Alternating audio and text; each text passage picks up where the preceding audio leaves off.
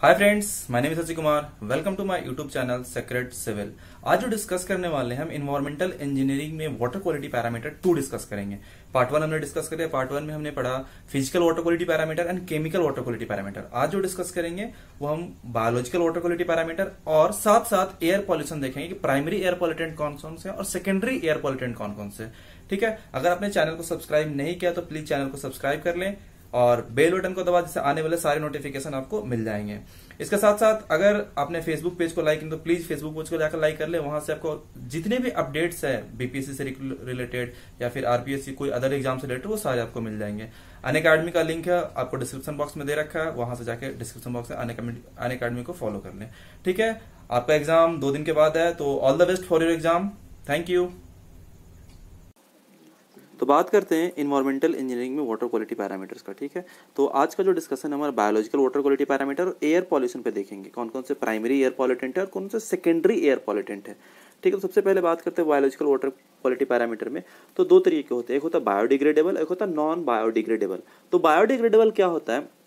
Biodegradable organic matter decompose by the action of micro organism ठीक है? Biodegradable organic matter decompose by the action of micro organism due to the utilization of carbon ठीक है? क्या होता है? Carbon को utilise करके तो हमारा कहलाता है बायोडिग्रेडेबल आइटम ठीक है? ऑर्गेनिक मैटर और उसके बाद बात करते हैं नॉन बायोडिग्रेडेबल नॉन बायोडिग्रेडेबल क्या होता है? नॉन बायोडिग्रेडेबल जो होता है can not be decompose by the action of micro organism clear हो गया? जो माइक्रो ऑर्गेनिज्म से डिकम्पोज हो जाता है that is called the biodegradable और जो माइक्रो ऑर्गेनिज्म नहीं डिकम्पोज कर पाता है, वो हमारा नॉन बायोडिग्रेडेबल तो ये दो तरीके का होगा। उसके बाद बात करते हैं बायोलॉजिकल एक्टिविटी जो होता है हमारा।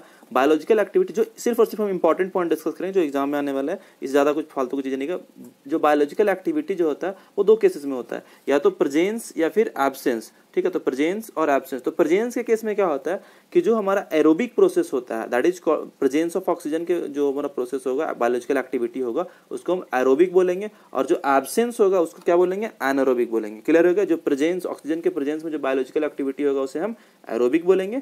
और जो ऑक्सीजन के एबसेंस में जो बायोलॉजिकल एक्टिविटी होगा, उसको हम एनोरोबिक बोलेंगे। जो एरोबिक होता है एरोबिक बायोलॉजिकल एक्टिविटी वो हाईली स्टेबल होता है। क्या होता है? हाईली स्टेबल होता है। और जो एनोरोबिक होता है, वो हाईली अनस्टेबल होता है। एक हाईली स्टेबल होता है एरोबिक प्रोसेस और हाईली अनस्टेबल का अलग है प्रोसेस तो हाई एरोबिक प्रोसेस में देखा जाए तो सीओ थ्री माइनस होगा एनओ थ्री माइनस होगा एसओ फोर टू माइनस हो जाएगा पीओ फोर तो ये सारे हो जाएगा। अगर एनोरोबिक की बात कर लिया जाए तो एनोरोबिक में एसिड आ जाएँगे एल्कोहल आ जाएँगे गैसेस आ जाएँगे, ये सारा तो ये सारे आपके किसमें? एनोरोबिक में आ जाएँगे। जो एनोरोबिक प्रोसेस है, वो थ्री टाइम स्लोवर होता है एरोबिक प्रोसेस से। कितना होता है? थ्री टाइम स्लोवर होता है एरोबिक प्रोसेस से। इस चीज़ को याद रखना, तीन टाइम स्लोवर होता है। अब उसके बाद बात करते हैं flocculated micro organisms flocculated micro organisms क्या होता है कि आपका जो एरोबिक और यानी ऑक्सीजन के प्रेजेंस में और एब्सेंस में जो हमारा डिकम्पोज होता है that is called the flocculated micro organisms ठीक है तो ये हमारा फ्लैकुलेटेड माइक्रो ऑर्गेनिज्म क्या हो गया?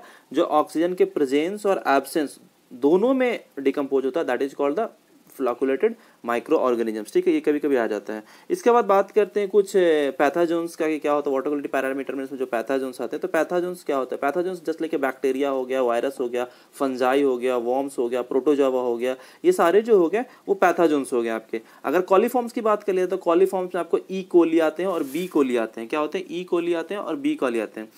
तो जो ट्रांसमिशन डिज़ीज़ होता है that is called the pathogens क्या होता है? ट्रांसमिशन किस टाइप का पैथाजोन्स किस टाइप का transmission disease are called pathogens ठीक है?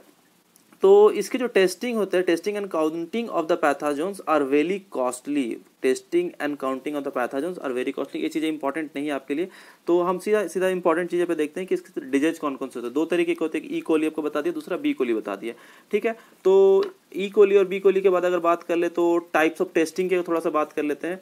तो टेस्टिंग में एक एमपीएन टेस्ट होता है मोस्ट प्रोबेबल नंबर आप इतना याद रखना कि मोस्ट प्रोबेबल नंबर होता है एमपीएन का फुल फॉर्म और उसमें एक इंक्यूबेटर होता है जो कि 35 डिग्री पे हम उसको रखते हैं कंटिन्यू 48 आवर्स के लिए।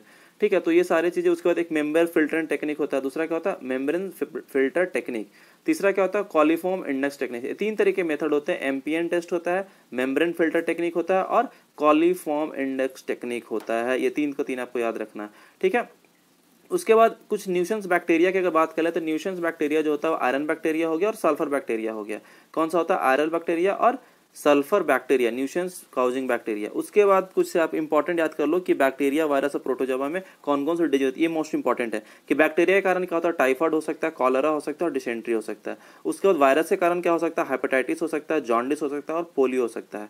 ठीक है? हेपेटाइटिस के कारण वायरस के कारण क्या होगा? Hepatitis jaundice and polio and protozoa के कारण एमोबिक डिसेंट्री होता है। तो ये सारी चीज़ें जो इंपॉर्टेंट है ना कौन से बीमारी किससे होता है? बैक्टीरिया से कौन सा होता है? वायरस से कौन सा होता है? प्रोटोजोवा से कौन सा होता है? तो ये चीज़ आपको याद रखना है। उसके बाद आपको समझ में आएगा पैथाजोन्स और कॉलीफॉर्म्स क्या हो गया? क्लियर हो कॉलीफॉर्म्स आपको ई कोली आएगा और बी कोली आएगा और पैथाजोन्स आपको बता दिया कौन कौन से आएँगे? बैक्टीरिया आएगा, उसके बाद वायरस आएगा फंजाई आएगा वॉम्स आएँगे प्रोटोजोवा आएँगे। ठीक है? ये सारी चीज़ें क्लियर है। इसके बाद बात करते हैं हम नेक्स्ट कि आपका प्राइमरी पॉलिटेंट क्या है? दो तरह के पॉलिटेंट होते हैं। एक प्राइमरी पॉलिटेंट होता है, दूसरा हमारा सेकेंडरी पॉलिटेंट होता है। तो सिर्फ़ आपको नाम या नाम याद रखना है कि प्राइमरी पॉलिटेंट कौन सा है सेकेंडरी पॉलिटेंट कौन सा एग्ज़ाम में यही पूछते हैं, ये वैल्यू ये दे देंगे एसओ टू कौन सा है प्राइमरी या सेकेंडरी तो SO two is the primary C O is the primary N O nitrogen oxide is primary NO two is primary lead PB is the lead primary hydrocarbons hydrocarbons होते हैं, वो भी primary pollutant होते हैं। कुछ allergic agents like pollens and spores ये भी आपका प्राइमरी पॉलिटेंट है। इसके बाद एच टू एस और H two F this is also the primary pollutants ठीक है? उसके बाद कुछ रेडियो एक्टिव सबस्टांस है that is also a primary pollutant ठीक है? इसके बाद बात कर लेते हैं सेकेंडरी पॉल्यूटेंट का। सेकेंडरी पॉल्यूटेंट क्या होता है? प्राइमरी के बाद सेकेंडरी आता है तो H two S O four H two S O four जो होता है, वो मोर टॉक्सिक देन SO2 जो प्राइमरी पॉल्यूटेंट में जो आपको SO2 था, उससे कहीं ज़्यादा टॉक्सिक होता है H2SO4 उसके बाद नेक्स्ट आता है सेकेंडरी में O3 यानी कि ozone layer ozone is the आपका सेकेंडरी पॉल्यूटेंट अब ये चीज़ हमेशा एग्ज़ाम में आता है ओजोन कौन सा होता है? Ozone is the secondary pollutant formaldehyde formaldehyde is also secondary pollutant PAN PAN is also secondary pollutant तो ये पैन का जो फुल फॉर्म होता है पेरोक्सिटिलिन नाइट्रेट होता है, ठीक है? तो पैन लिखा आता है एग्ज़ाम में पेरोक्सिटिलिन नाइट्रेट नहीं होता सीधा सीधा लिखा था कि क्या होता है? तो पैन होता है. पैन हो गया ओथ्री हो गया, दोनों इंपॉर्टेंट है. अक्सर एग्ज़ाम में पूछा जाता है पैन और ओथ्री के बारे में ओजोन लेयर क्या होता है? पैन क्या होता है? ये प्राइमरी पॉल्यूटेंट है और सेकेंडरी पॉल्यूटेंट है. सल्फ़र डाइऑक्साइड को पूछ लिया है कि आपका प्राइमरी पॉल्यूटेंट है या सेकेंडरी पॉल्यूटेंट है? ये तो हो गया आपका biological water quality parameter and air quality में जो इंपॉर्टेंट चीज़ें थी वो मैंने आपको बता दिया।